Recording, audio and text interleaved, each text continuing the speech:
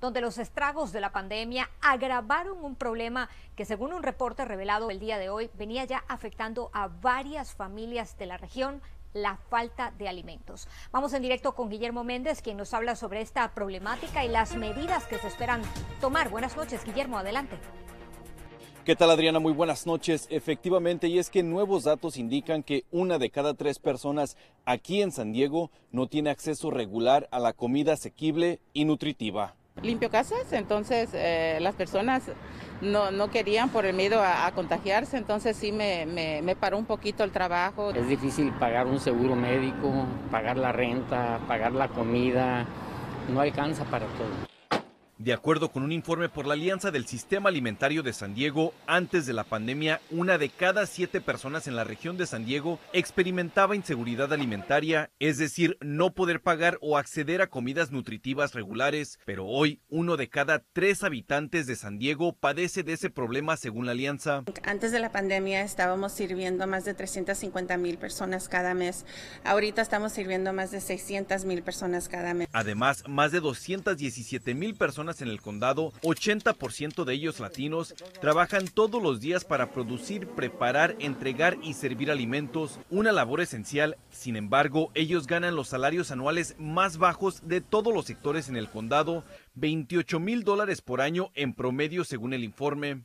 Han sido los más afectados con esta pandemia, ya que ha habido mucho recorte de trabajo, ya que ha habido mucha falta de recursos, falta de dinero y es por eso que estas, estas cifras han aumentado, han incrementado. Es por eso que el reporte establece tres metas para ayudar a sanar este sistema alimentario durante la próxima década, al cultivar justicia, luchar contra el cambio climático y construir resiliencia. Este último año nos ha comprobado que el sistema de comida que tenemos aquí en San Diego um, sí, nos, sí nos ha fallado. Por ello, el informe detalla 10 objetivos para conseguir dichas metas, incluyendo el presupuesto preservar los campos y suelos agrícolas e invertir en producción de comida a largo plazo, elevar los salarios y mejorar las condiciones de trabajo y oportunidades de los empleados e incrementar el liderazgo de comunidades de color en el sistema alimentario. Que todos pudiéramos comer bien y que nos diéramos la mano unos con otros, no que los que tengan más agarren más y los que tengan menos se queden sin menos.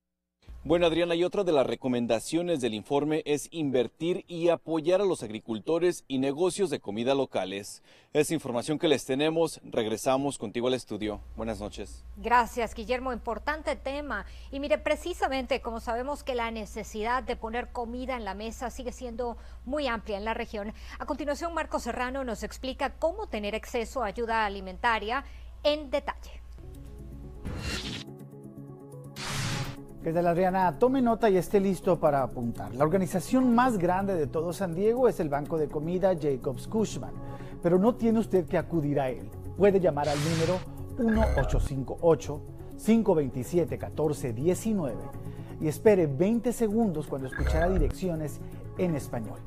La operadora entonces le pedirá que presione el botón del número 1 para darle a conocer el centro de distribución de comida más cercano a usted.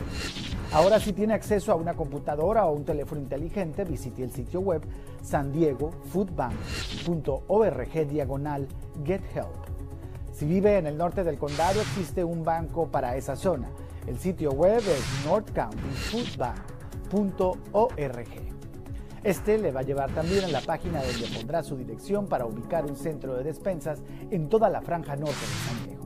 Para residentes del sur, la organización South Bay Community Service es tan solo una que tiene múltiples lugares de entrega y los puede conocer, en ese caso, llamando al 619-420-3620. También puede visitar la página freefood.org, diagonal C, diagonal CA Ahí puede obtener lugares en todo el sur de California. La última opción es llamar al número de teléfono 211. Ahí le puede decir a la operadora cuál es la necesidad para que le conecten de inmediato con el servicio que usted requiere. Es el reporte, regresamos con ustedes.